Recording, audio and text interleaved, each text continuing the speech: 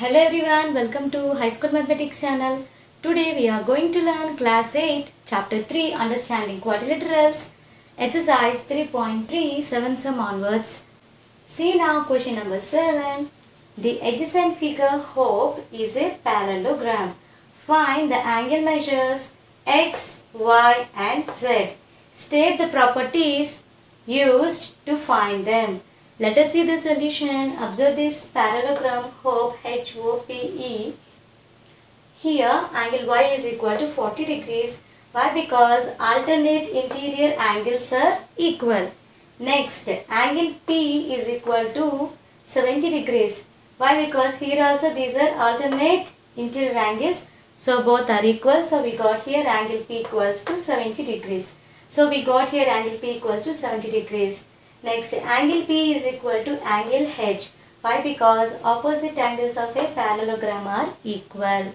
So, angle P equals to angle H that equals to P is 70 degrees. So, H is also 70 degrees. Next, observe here Z plus 40 degrees is H. Now, we need to find Z. Why? Because we know H that is 70 degrees and we know 40 degrees. So, what we have done here? Z equals to angle H minus 40 degrees. That equals to angle H is 70 degrees minus 40. So 70 minus 40 that is 30 degrees. Here we got angle Y equals to 40 degrees and angle Z equals to 30 degrees. Now let us find angle X. See now angle H plus angle X is equal to 180 degrees. Why? Because sum of adjacent angles of a parallelogram is equal to 180 degrees. We got angle H that is 70 degrees plus we doesn't know angle X that equals to 180 degrees. Now let us find angle X that equals to 180 degrees plus 70 on transposing it is minus 70. So 180 minus 70 it is 110 degrees. Therefore angle X is equal to 110 degrees. Previous we got angle Y equals to 40 degrees and angle Z equals to 30 degrees. See now question number 8. The following figures, guns and runs are parallelograms. Find x and y. Here lengths are given in centimeters. Observe this first sum. Guns parallelogram G-U-N-S. Here SG is equal to NU and SN is equal to GU. Why? Because opposite sides of a parallelogram are equal. So let us take the first one SG equals to NU. SG is given as 3x that equals to NU is given as 18 centimeter so 18. So we got here 3x equals to 18. Now x equals to 18 by 3. Here 3 is going to multiply on transposing it is divided by. So 3 table 3 ones are 3, 3 6 are 18. So x value is 6. Therefore x equal to 6. Now let us take second one Sn equals to GU. That is Sn they have given as 26 centimeter that equals to GU is given as 3y minus 1. Here minus 1 on transposing it is plus 1. So 26 plus 1 equals to 3y. That implies 3y equals to 26 plus 1 that is 27. That implies y equals to 27 divided by 3. Here 3 is going to multiply. On transposing it is divided by.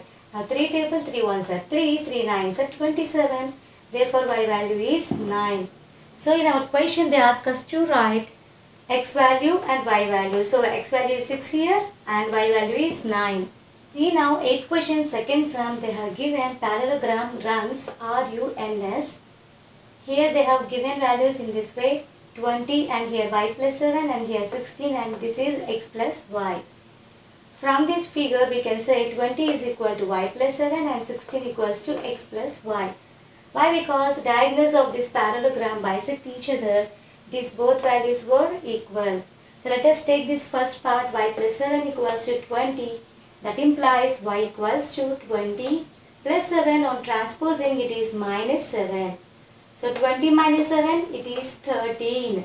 Therefore y value is equal to 13. See now second one x plus y equals to 16. Next x plus we know y value 13 that equals to 16. That implies x equal to 16 plus 13 on transposing it is minus 13. So 16 minus 13 it is 3. Therefore x equals to 3. So finally we got here x value as 3 and y value as 13. See now question number 9. In the above figure we are having two parallelograms that is RISK, risk and second parallelogram is CLUE that is clue. Now from these two parallelograms we need to find the value of x. Now let us see the solution. Angle K plus angle R equals to 180 degrees. Why? Because sum of adjacent angles of a parallelogram is 180 degrees. Here already they have given in this first parallelogram that is risk RISK here angle K equals to 120 degrees. Let us substitute angle K equals to 120 degrees plus angle R that equals to 180 degrees. That implies angle R equals to 180 degrees plus 120 on transposing it is minus 120 degrees. So 180 degrees minus 120 degrees that equals to 60 degrees. Also angle R is equal to angle SIL. Why? Because those are corresponding angles. So angle R and angle SIL both are equal. So if angle R is 60 degrees then angle SIL is also 60 degrees. So we have written here angle SIL equals to 60 degrees. Now we have to find the value of x.